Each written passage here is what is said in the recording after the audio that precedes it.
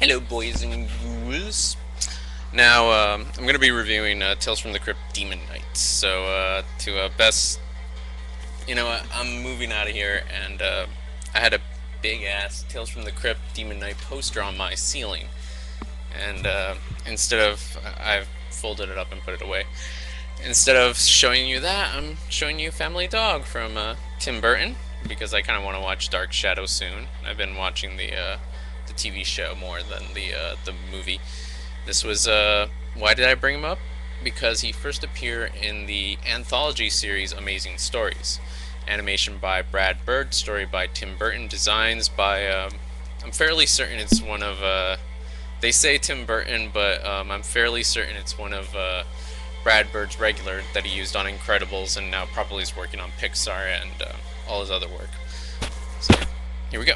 Alright, um, Tales from the Crypt is uh, a one-off story of... Uh, well, actually what I want to get to is, first off, the 90s was pretty much known for uh, independent films and kind of these pretentious kind of era, era, kind of films. So when it came to horror, it was kind of uh, not as good as the 60s, I mean, as the 70s, 60s, or even 80s.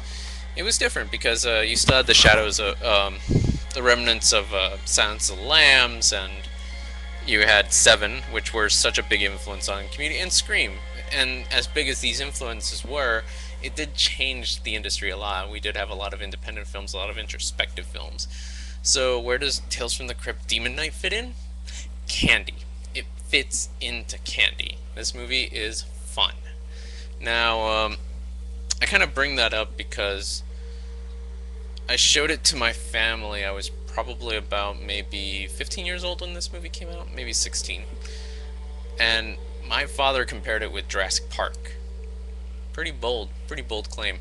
Now, um, it comes from the anthology series Tales from the Crypt, which uh, was handled by Richard Donner, um, Joel, Sh uh, Joel Silver, uh, Richard Donner, a large, large cast of classic, um, classic horror guys. Now, um, the TV sheer, uh, this is not the best Tales from the Crypt story. In fact, it's a very, it's a very pulpish action story. Very action-packed, very intense. In fact, it's not very scary. It's pretty average scares. It's a roller coaster ride. It's a really good roller coaster ride. It's by the numbers. It's great. It's it's amazing. Uh, I remember seeing this when it first came out. I was super hyped, super excited because I'm a big fan of Tales from the Crypt.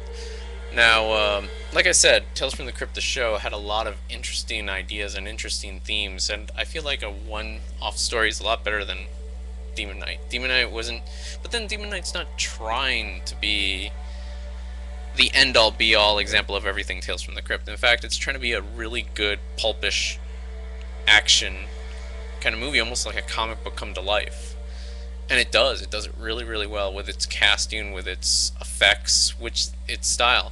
The director is Ernest Dickerson, who later went off to make uh, Bones, the Snoop Dogg horror film with Pam Grier. And um, you know, I I want to give him a lot of credit. I I think this is. You know, he, he probably has done a lot better before, but, you know, this is really, really great. I think, like, to me, like, in my opinion, this is, like, more of an 80s film, like Fright Night or just one of those films that you just have fun watching. You know, it's not. It, it, like I said, the best comparison is candy, it, but but not in a bad way. I mean, sometimes candy can make you sick if you have too much, or diabetes. Um, here we've got um, what's really really awesome about this film is like when it came out, nobody knew Billy Zane, nobody knew Jada Pinkett's Jada Pinkett. I was just about to say Jada Pinkett Smith, and this is before her. Um, you know, uh, William Sadler, mostly pulpish action kind of films. A lot of the cast in this movie is just like nobody's. Oh, forgot Dick Miller as Uncle Willie. That that was a really good one, especially where uh, he he gets his own like demon moment. Yeah, no, this is a really really fun movie. You got to see it. Um, overall, just kind of like reminiscing about like I saw this two times when it on the opening day. I saw it like three times in the theaters. Never did buy the DVD of it. I kind of felt like This is really a fun film to watch with friends together. I, I can't watch it alone. I, I need people to see it with me. It's not up to par with. It's pretty. It's more. You know what I'm gonna say? Um, I'm gonna say more like, and I'm not saying this like degrading it or anything, but I but I feel like it's a. Um, it could have been PG-13, even though there's titties and uh, pretty cool gore.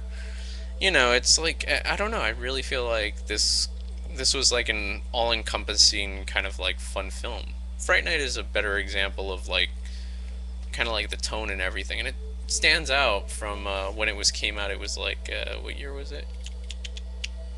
1995.